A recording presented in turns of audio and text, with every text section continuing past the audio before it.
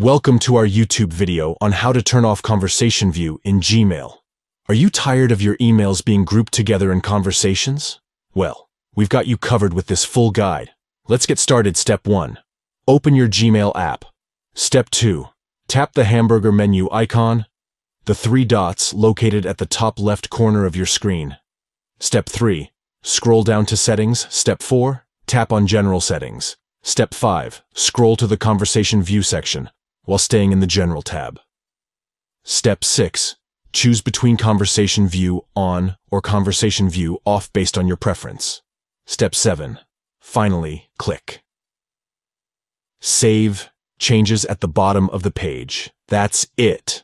By following these simple steps, you can easily turn off Conversation View in Gmail and organize your emails the way you want. Thank you for watching our video. Don't forget to subscribe to our channel for more helpful guides like this. If you have any questions or suggestions, please leave them in the comments below. Happy emailing!